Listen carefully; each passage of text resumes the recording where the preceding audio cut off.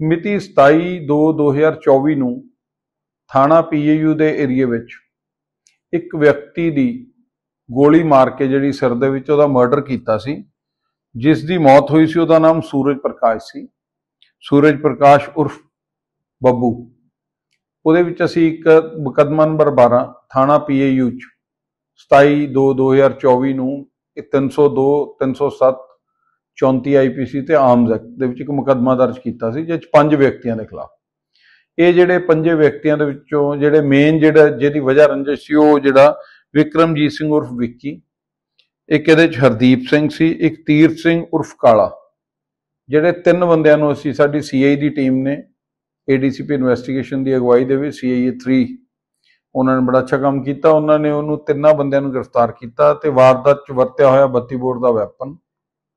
ਉਹ ਰਿਕਵਰ ਕੀਤਾ ਤੇ ਹੁਣ ਸਾਡੇ ਕੋਲ ਜਿਹੜਾ ਇਹਨਾਂ ਨੂੰ ਅਸੀਂ ਰਿਮਾਂਡ ਤੇ ਲਿੱਤਾ ਹੈ ਤੇ ਹੋਰ ਜਿਹੜਾ ਇਹਨਾਂ ਦਾ ਪ੍ਰੀਵੀਅਸ ਜੇ ਕੋਈ ਇਹਨਾਂ ਨੇ ਇਸ ਕ੍ਰਾਈਮ ਤੋਂ ਬਾਅਦ ਕੋਈ ਹੋਰ ਕ੍ਰਾਈਮ ਕੀਤਾ, ਉਹਦੇ ਬਾਰੇ ਵੀ ਅਸੀਂ ਡਿਊਰਿੰਗ ਇਨਵੈਸਟੀਗੇਸ਼ਨ ਵੈਰੀਫਾਈ ਕਰਾਂਗੇ। ਤੇ ਮੈਂ ਇਹ ਦੱਸਣਾ ਚਾਹੂੰਗਾ ਵੀ ਜਿਹੜੇ ਇਹਨਾਂ ਦੇ ਵਿੱਚੋਂ ਆ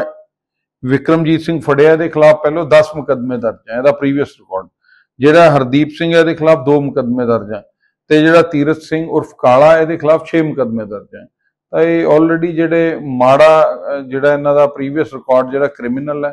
ਪਰ ਇਹ ਪਹਿਲੋਂ ਵੀ ਜਿਹੜਾ ਵਾਰਦਾਤਾਂ ਕਰ ਚੁੱਕੇ ਆ, ਜੇਲ੍ਹਾਂ ਕੱਟ ਚੁੱਕੇ ਆ, ਤਾਂ ਇਹਨਾਂ ਨੂੰ ਸਾਡੀ ਟੀਮ ਨੇ ਬੜੀ ਮਿਹਨਤ ਨਾਲ ਕੀਤਾ ਤੇ ਬੜਾ ਅੱਛਾ ਕੰਮ